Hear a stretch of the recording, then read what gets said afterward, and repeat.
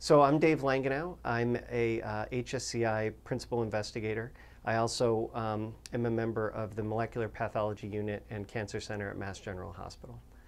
My lab really is focused in on understanding how pediatric cancers are formed and more importantly, what drives um, cancer regrowth at relapse. And so this is the major um, clinical hurdle facing most patients uh, in the pediatric population. They do very well. Um, in response to standard chemotherapies. But about 20% of these kids with T cell leukemia, which is one of the tumors we study, they'll relapse, and um, it's pretty much uniformly uh, lethal with a large portion of those patients uh, succumbing to disease. And so that's really been the major focus of our lab is trying to uncover um, how it is that relapse occurs in these uh, pediatric leukemias and also a rare muscle tumor called rhabdomyosarcoma.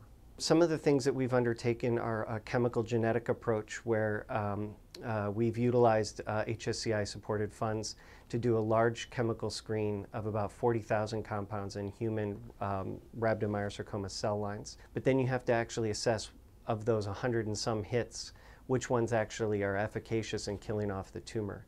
And so we've used zebrafish as sort of a intermediate model to be able to figure out what drugs are you know, best utilized. And building on that, we're able to now go into um, uh, xenograft uh, transplants into mice, and that's ongoing in, uh, in the lab.